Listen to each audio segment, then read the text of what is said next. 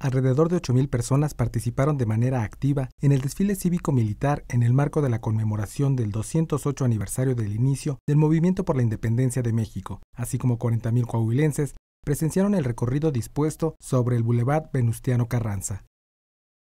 El gobernador Miguel Ángel Riquelme Solís, el general Raúl David Guillén Altuzar, comandante de la decimoprimera región militar, y el general de brigada Francisco Ortega Luna, comandante de la sexta zona militar, fueron los encargados de presidir el evento.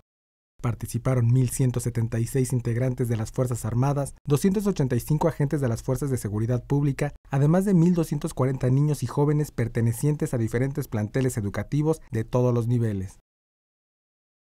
Septiembre es el mes de la patria para recordar a quienes lucharon para brindar libertad. Por ello, las Fuerzas Armadas, cuerpos de seguridad pública, planteles educativos y la sociedad civil conmemoran de manera activa en los desfiles.